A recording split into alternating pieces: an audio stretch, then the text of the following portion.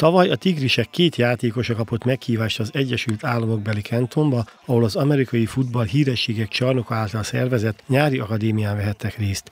Idén nyáron már hatan képviselték az edzőtáborban a nyíregyházi színeket. Tóth Gábor, Panykó Patrik, Hüse Csongor, Schuller Ádám, Erdélyi Áron és Szépe József is ott volt a 150 meghívott között. Kenton után Sacramento utazott a nyíregyházi különítmény, ahol az egyik helyi egyetem trénere tartott háromnapos képzést a magyar játékosoknak sokkal inkább a technikai alapokra helyezik a hangsúlyt sem, mint a, az NFL teljesítmény kicsi szalására, tehát nem, nem, nem elvárás, nincsenek elvárások a srácokkal szemben, hanem mindenkiből a hozzá mérten legjobbat szeretnék látni az edzők. Ez az edzői aspektus.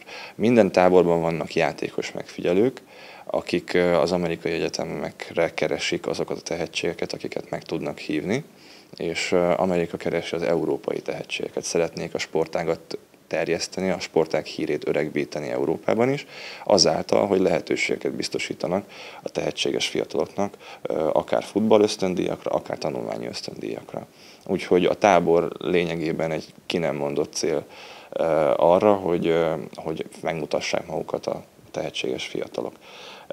Természetesen a táborban vannak egy az egy elleni küzdelmek, pozíciók szerint vannak hét a hét elleni küzdelmek csapatrészek szerint, és minden tábor végén az NFL edzők, illetve azok az edzők, akik már több mint 10-15-20 éve vannak a pályán, egy személyre szabott értékelést adnak ki az adott játékosról egyéni szinten, és ebből nagyon sokat lehet tanulni. Október közepén Hollandiában is lesz egy tábor, amelyen ott lehetnek nyíregyházi játékosok is. Az év végén pedig Mexikóban rendezik meg az All American Bolt, amelyre 90 Egyesült Államokból érkező játékos mellé a táborokban nyújtott teljesítményük alapján 10 európai futbalistát is meghívnak a szervezők.